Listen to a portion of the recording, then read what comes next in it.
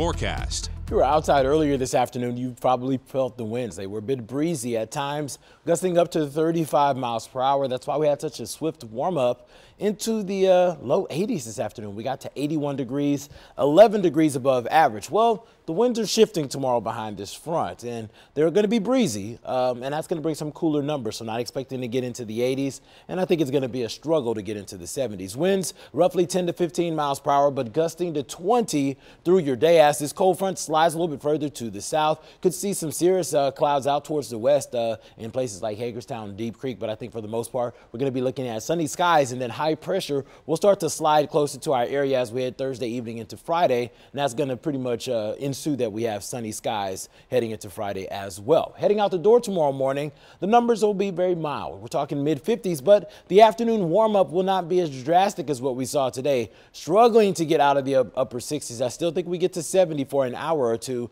during the afternoon. Keeping in mind the winds are going to be out of the northwest, a little breezy for the day. Starting off your Friday with clear skies and the numbers are going to be a little bit cooler. We're talking about low to mid 40s in places like Westminster and Parkton. 49 in Bel Air. We'll be near 55 at the harbor. So a milder start and the numbers will warm up a little bit more. I think it'll be easier to get into the 70s. Still, your lunchtime forecast is going to find you in the mid to upper 60s across most of the state of Maryland, warming into the low 70s as we head into the evening commute, keeping sunny skies in place. So that means you'll need the sunglasses not only for tomorrow, but as we head into your Friday. But I'm expecting some clouds to start to trickle in overnight Friday into your Saturday. And I'm thinking that we're going to see things uh, on the warm side for Saturday as southerly flow filters in, but the clouds will be our dominant feature here. Uh, there is some moisture that's going to be traveling closer to us, but I think those rain chances really do staple off until around Sunday. All of these showers that move in Sunday into Monday going to be associated with the remnants of Delta, what is now Hurricane Delta, and that's going to linger through Monday. And then we're watching a cold front.